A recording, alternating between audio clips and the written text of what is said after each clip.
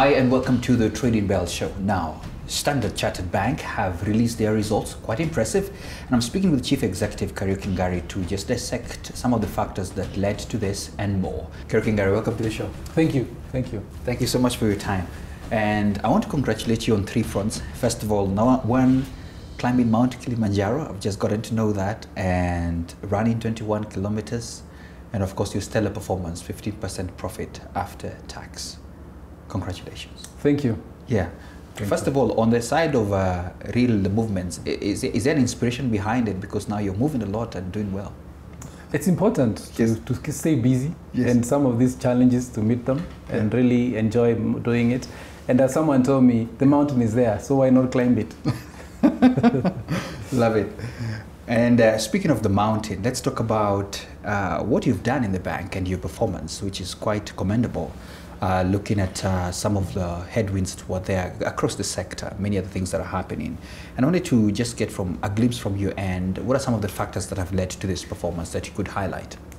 I think one of the things is, yeah, we've had a, a very good performance for 2023. Mhm. It was, uh, on a macro front, it was a very challenging year, Yeah. uh, but we managed to stick to our strategy. Mhm. And uh, strategy execution is, was, was critical to attaining and really sticking what we call the, the four strategic pillars of, of the network, Yeah. uh, affluent, Mhm. mass retail, and sustainability. Really focusing on those, uh, uh, those strategic pillars is what delivered the 23% revenue growth Yeah. and then bottom line of 15% PBT and also a 15% increase in profit after tax. So being very clear and taking the opportunities because even in a challenging environment, there are opportunities that come the client's way. Yeah. And we're able to be there to either give them our balance sheet and to help or give them our expert advice Yeah. or to give them the opportunities to be able to do what they needed to do. And that translated into that 23% revenue growth. Okay. You spoke quite at length today uh, when you were releasing these results about your strategy, and I, I quote some of it network, affluent, mass, retail, and sustainability pillars. Of all these pillars, um, which one do you see? Because uh, there, there's been a lot of questions about is it in the mass market, is it in the corporate? Which one do you see as a key driver? I know all of them are contributors, but something that has really led to the numbers that we see. I think for now, the two network and the affluent really are the biggest contributors. Okay. That really is, met- if you look at our overall numbers, Yeah. like as I said, for our, our consumer, private, and business banking, CPBB as we call it, Yeah. uh, 15% of the revenue is actually from the affluent segment. Okay. And then the network is a big contributor on the corporate side as well. Mm-hmm. So those we can say that is our bread and butter, our very strong areas of growth Yeah. and opportunities. Uh, but we believe as well in mass retail and sustainability, it's about the future. Mm-hmm. Okay. And the future is now. Okay. Uh, and the mass retail is saying, how do we serve this segment profitably? Mm-hmm. How do we ensure that it's giving a fair return? Because that segment, if you're not careful, it can really lead to ballooning of cost. Yeah. So how do we, with our net, our, our, branch network, Yeah. Mm-hmm. which is fewer for among the tier one, the fewest, how do we ensure that we're able to cover wide, uh, a wide coverage of the mass retail clients? Yeah. So our investment in technology that helps. Okay. Sustainability is about now. We are talking about it globally. When we talk about mobilizing of funds, how do you get the money from the global north in to help the countries in the global south transition and to really start doing matters climate? And how do we start understanding what we must do? That we are seeing is an area that we can is an area of our expertise for us. Uh, looking at our global network and how we can bring it here and how that can translate into into the profitability in the years to come. If I take you like 10 years back or even five, five to eight years back, we never used to talk about wealth. Mm-hmm. It was tiny in our books. You're right. But we stuck to it because we believed the future. We could see it as we're getting more, the middle class continue to grow. We could see Kenyans looking for alternative investment uh, options. Mm-hmm. And then we could see that this is going to happen. And we, we have started to see that come into fruition. Okay. Yes. You know, speaking about the mass market, I we're in the news business, and sometimes we have had rumors coming out there, and there was a there was a creation as if uh, Standard Chartered was sort of uh, shying away from uh, the mass market. But listening to you today, there's still a critical factor of your strategy it in is. doing that. So I just wanted to clear the air. Are you are they still your core? You know, rumors is, is part of life, and Yes. you can't respond to all the rumors. but I think it's showing us talking about Yeah. being a strategic pillar. Okay. You cannot have a strategic pillar and then you are exiting a, a certain segment. Okay. But it's a question of looking at it and asking yourself, how can I serve this segment profitably? Okay. Whichever business you are in, you've mm -hmm. always got to ask yourself, am I serving it efficiently and am I serv- uh, serving it uh, well enough to Yeah. be able to give a return? Because the shareholders are expecting a return.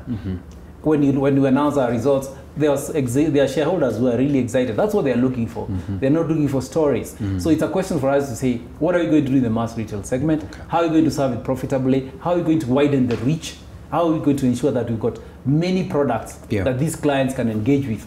And Yeah. in that engagement with our products and services, then we get a fair return. Okay. Hence, investment in dig- uh, digitization. Fair enough. Let's talk about the same customers you're talking about. When I look at your loan book, customer loans increased by 17%, which Correct. definitely has a significance to this. And I wanted to know what does this growth indicate about the market demand and your lending strategies? I think it indicated two things. One thing is, uh, as I said, the opportunities are there, Yeah. and so clients were looking for these opportunities, and uh, so we are there to help them. Yeah. And especially also, especially on the corporate side, uh, we saw that clients, the opportunities coming our way, and they needed either to expand or to launch uh, a new service or product, Yeah. or to expand, because a lot of the, despite it being a challenging 2020, uh, challenging year, most of the investors are long term. Yeah. They've seen this before. Yeah. I remember meeting a client who told me, I've seen many cycles. I was here in 2007 Yeah. Mm-hmm. and everybody was doing XYZ, but we doubled down and said, Kenya isn't going to go anywhere. And that's, that's the long term view we have of in, in this country as well. It's a very long term view. So when we see the clients, it's challenging, but the opportunities, and we're able to step in and able to give them our balance sheet for them to continue growing. Okay. And that growth was both in whether it's local currency lending or with the uh, foreign currency lending Okay. as well. That's that's an area that uh, that we're able to participate. And then also on the on the private on the on the consumer the CPBB side, Yeah. we started seeing growth towards the end of the personal loan sides. It was challenged at the beginning, uh, definitely because of the uncertainties, whether it was new taxation measures. But towards the end, people started to calm down. You could start seeing people now more confident to start borrowing again. Uh, we started seeing our mortgage book starting to turn. We started seeing uh, our, our requests for mortgages or personal loans has really ticked up around from around November, and that has continued into these two months of the year, which shows people there's confidence that it started to come back, and we are optimistic about 2024 because of what we are seeing, the general trend happening within our client base. Okay. You have a strong position on your assets, and I was keen to look at your financial assets. And when I look across the board, uh, I mean, looking at your peers, if at all we call them that, um, there's been a bit of a cautious approach when it comes to especially government papers and securities. Um, you're not as well exempt from that, and I wanted to know what's informing this. In terms of uh, the reason we, we did, and especially when we talk about the government bonds and uh, why we, we, we sold off some papers, is really to take advantage of the market, and Yeah. the opportunities that arose. Mm-hmm. And there's one thing we, we as, as one of our strategies, we call it in our what we call our asset and liability committee, which is ALCO, is that we'll always be a, a long, a long, a long a lender, a long lender. We don't we don't play short. So in the interbank, we are not active borrowing. We mm-hmm. want to be a lender. So Yeah. we have to ensure that we've got enough, cap- we've got sufficient liquidity Yeah. to be able to participate in the interbank Yeah. and also have enough liquidity to be able to give uh, avail our assets to clients when they come to us. Yeah. And so there was a time it was challenging for us. And that's when one of the key actions we always prioritize to say this is how you build in liquidity. One Yeah. of them what most people, most players might do is pay up for expensive deposits Yeah. that will always bring up, of course, your deposits. Yeah. Or you may make a decision like we took and said we'll sell off the, the government, the government, the long-dated uh, bonds Okay. and paper, because we're in a rising rate in, in, in environment. Mm-hmm. Those papers were probably 11, 12 percent because we Yeah. bought them a long time ago. Mm-hmm. But when you reinvest it, yeah, you're investing at 16 percent. So right. you look at the circumstances and say, mm. overall, yes, you'll take short-term pain, Yeah. but long-term, it'll be a very, very different. And I'm sure that will be reflected in our results for 2024. Okay, okay, great. Uh, finally, on the numbers, uh, talking about your NPLs, I noticed maybe in the last quarter there was a great improvement or something because now you're at 9.7% Yes. uh, in terms of the ratio. Yes. What's the secret? What have you done? I think it's it's been it's been a long time coming. If you've Yeah. been tracking our performance over Yes. the years, that number has been way above the industry average. Absolutely. But it's something we've been working on with clients. What actions do we need to take, especially in the legacy names? These are names that borrowed a while back. Yeah. Is to say how much provisions have we already taken? Yeah. What do we need to do now to actually clean up and say, let's just clean this up? Yeah. And then what actions do we need to take? And then having conversation with some of those clients and say, how can we settle this? We Mm-hmm. don't want to make this prolonged uh, conversation or using the court system to go to keep on. Uh, the ones who are willing, we sit down together and come to a settlement. Yeah. That coupled with the growth that is uh, that has come through because of our assets has changed that mix. Okay. And we are really pleased that we are below 10% Yeah. after a very long while. Absolutely. Yes. Congratulations on Thank that. you.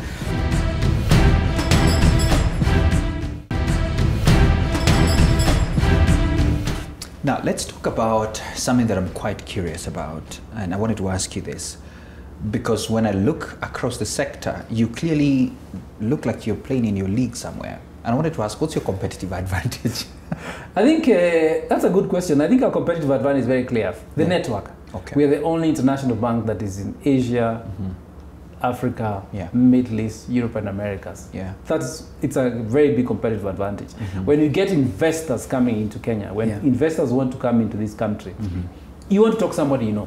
Yeah, that's true. So maybe they bank with us in China, or they bank with us in Singapore, Yeah. or they bank with us in India, Yeah. or the bankers they do business with us in the UK. Mm-hmm. That is a, a big competitive advantage. So Yeah. we're always ensuring that we are fully lined up in terms of the way they operate, because Yeah. some of them may have their global offices in America, mm -hmm. or in New York, or Washington, or in London. Yeah. So we ensure that we've got a team that can support them there. Okay. That is one. Okay. Two is mobilization of capital. Because mm -hmm. you're in this market, you're able to mobilize capital. Okay. When you look at how much you're able to participate, if you look at, the, for instance, the, in, the recent infrastructure bond, Yeah. and you see how much foreign investment came through us into the government paper, it's, a, it's a big number. We estimate between 20 and 21 percent Mm-hmm. Yeah. that came through us. Just, just taking our portion, because that's all we could see. Yeah. And taking our portion, how much we submitted, and how much came from foreign investors. So we're able to mobilize capital, whether it's on in such a scale or for big projects. We've been able to do some really big projects, even across the border in Tanzania, Yeah. because of mobilizing the international capital. Yeah. I think that's important. The second area, competitive advantage on the affluent segment.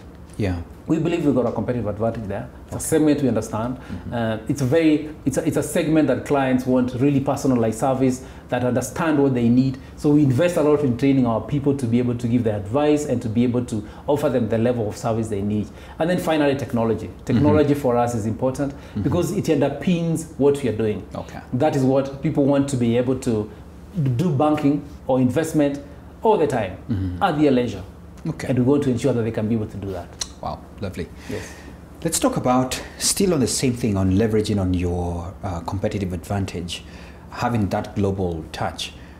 I'm looking at Africa when you compare the Americas, when you compare to the Europe and all that. Africa looks like it's uh, somewhere uh, coming up. I, I don't know what you've noticed, but I'm seeing a lot of openings. For example, the Africa Free Continental Trade Area and all that. What are you looking at? Is there a strategic move that you're looking at to ensure that you leverage and grow the, you know, the growth uh, on African side? We, we believe that African free trade area will be a game changer for the continent. Okay. Because currently Africa is not trading within itself. It's, it's below 15% of the mm-hmm. trade that happens across Africa. Yeah. So we believe that's the, that treaty, when it's finally ratified by all markets and mm-hmm. comes to fruition, Yeah. it'll be a game changer for the continent. Very true. Because if you think about it, why should we be doing if, if Ghana or Nigeria or Uganda across can manufacture things that Kenya can buy from? Yeah. Why not? Why, Why not? not? Why do Yeah. we need to go thousands of kilometers? So it'll be a game changer. Yeah. And for us, it's say we are well positioned. Yeah. We are very, very well positioned. And we've seen some clients who use Nairobi as their head office and they have started going to first within the East African community and for some even across further out, uh, Yeah. whether it's West Africa or Southern Africa. That to me is, is, is important for us. And we, we are well positioned for that growth. We Yeah. are very well positioned Yeah. because of the way the bank is the bank is the, the way the bank is set up. Mm-hmm. You, you, you, we, we are set up to follow the trade corridors. Yeah. Very well set up to follow the trade corridors. Mm-hmm. And we see that a lot of the clients when they want to move across, they want to have one conversation. Yeah. Yes, you have a business across Africa, headquartered in Nairobi. You want to have one conversation. You don't want multiple discussions in the various markets. You just want to have one conversation, and we are well positioned because that's exactly how we are. We are. We are, we are, we are formed as, as Standard Chartered as well. Okay. Yes. As we come to a close, talking about sustainability and in two parts here. One is sustainability of your results because, uh, of course, your shareholders, first of all, are happy. You mentioned about the dividend Yes. as well. Um, and what's the promise? Because we just want you to keep growing. We know the demand will always be there. Yeah. And uh, we, we, we really appreciate the, there's a pressure from the shareholders that Yes. look, I'm giving you a return, Yes. and I have to compare the Please, return please mention me. it. I, I want to hear the dividend for them to know. I want I want to ensure that the, the, the, investment I've given you, Yes. I'm going to get a better return elsewhere. So we are really pleased that we could offer info. We'll be putting forward in the in the AGM, the board will be recommending a dividend of 23 shillings. Wow. Uh, that coupled with the interim dividend of 6 shillings Yeah. uh, makes uh, gives 29, shillings for the full year 2023. So we are really pleased with, that with, with that result, and I'm sure the shareholders are pleased too. Impressive. What is how do we ensure this this is sustainable? Yeah. Is being very clear what we want to do. I think uh, being very clear this is what we'll do, but also in strategy, being clear what you can't do. Yeah. I think it's always the most painful Okay. thing because it's always very easy to be everywhere. Yeah. But if you're everywhere, then you you're not able to offer sustainable returns. So we believe that. Uh, Kenya has opportunities. Kenya has, is continue to grow Yeah. with, the, with, the, with the Kenya Kwanza government and the challenge and the, the options they are putting on the table, trying to attract investment to this country. Mm-hmm. We shall benefit, and we will continue being in the forefront of ensuring that we're helping the country benefit. Yeah. And that is what assurance we can give the sustainability, Okay. ensuring that we are, we, are, we, we, we are sticking to what we must do, mm-hmm. and then protecting what we've got and building on our capabilities and continue to invest. Because a business, you must reinvest. You Okay. cannot fail to invest. Okay. I think that's that's the only assurance we can give. I'm concerned, by the way, not actually concerned mm. because it was a positive. You you looked at your tailwinds and you said, wow, we, we have an onward way of probably ensuring that sustainability, which is the one that really makes you happy that we are still progressing well. I think that the main tailwind that I, that I really see well is the global economy opening up. Okay. I think that's important Yeah. because uh, we've seen Middle East. You know, Saudi Arabia was not a player, a- a big player. Saudi Arabia has become a big player now. Yeah. Uh, we can start seeing the government-to-government uh, deals that the two countries are, are, are undertaking. Yeah. So when we start seeing that corridor opening up, we have a we have a bank, we have Standard Chartered in Saudi Arabia that we went very recently, which is doing phenomenally well. Okay. Again, that's a corridor that is opening up. Okay. When we start seeing whether it's the US again, the economy starting to get to get better, Europe again, inflation coming down. Yeah. We are really we are really uh, in, in, the glo- global income, e- economy. We are really in there in the global economy. So when those economies do well, Kenya starts doing well. You're right. Yeah. The other day, I saw some very colorful pictures. You did some sustainability uh, report, I believe, and I wanted you to highlight one or two things in it. And what's the promise on ensuring that your bank is running sustainably? I think one of the is I want to highlight is in our operations. For Yeah. instance, in uh, in this building, um, 97% of our waste is recycled.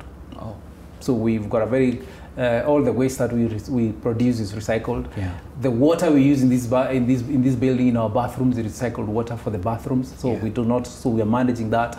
And then the we've just put uh, in our car park solar panels. So during the day we use solar solar energy. So we are very proud of that. And this building and all our branches have been certified as plastic free. mm-hmm. So we do not single use. You'll never see a bottle of plastic in Yeah. our in our water. Yeah. So those are some of the initiatives we are taking uh, to ensure that even us as a company, we are a responsible company and we're able to demonstrate we are doing something internally Yeah. to ensure that by 2025 uh, we are carbon neutral in terms of the emissions that we emit. Okay. Yes. Fair enough, and I want to end by asking you this because m- the movement to sustainability is not a simple thing as well. It is not. It's also a definitely, it is costly thing. Yes. And I noticed your cost as well had an impact a bit, a bit. I think at twenty percent. Is that part of the reason why, or maybe you want to expand on that? You, you, you, you have to do it. It's, it's, it's, it's uh, when it comes to matter sustainability, Yeah. climate is real. Yes. What you talk about, uh, what's happening in the world today, the threat from climate change. Yeah. because of what we do is real. Yeah. So you cannot say it's, it's not a cost. It's Yeah. about the future. It's about doing something for the future. Yeah. And do saying I will ensure that my grandchildren, my great grandchildren, Mm-hmm. not forgetting my grandchildren, my great grandchildren will enjoy the kind of something better than what you've seen. Very when true. I was growing up, I remember Mount Kenya was always snow covered. Mhm. Mount Kenya is not snow covered anymore, especially Yeah. some certain times of the year. Yeah. So it's a question of will they see a, a snow-covered Mount Kenya, or will they see, will they just see a bare rock? Yeah. I think that's important. So we don't see it as a cost. You must do it. It's a cost of doing business, and you're investing for the future. That is uh, that's what we believe in. And then in terms of the when you the 20% growth in cost, a lot of that is driven by continued investment in technology. Yeah. It's our competitive advantage.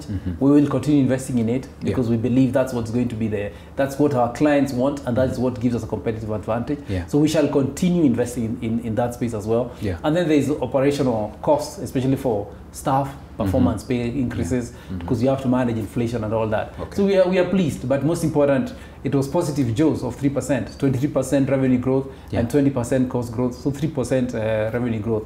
Okay. I mean, uh, cost jaws. That is important, Okay. very important. Wow, I could have asked more questions, but time is up. Thank you so much for your time, Kariuki, and Thank you. congratulations. It's a pleasure. There you have it. Kariuki Ngare, very optimistic and saying, listen, we still have more room to even do way better, especially for the you, the shareholders. Thank you so much for your time. I leave you now with the markets.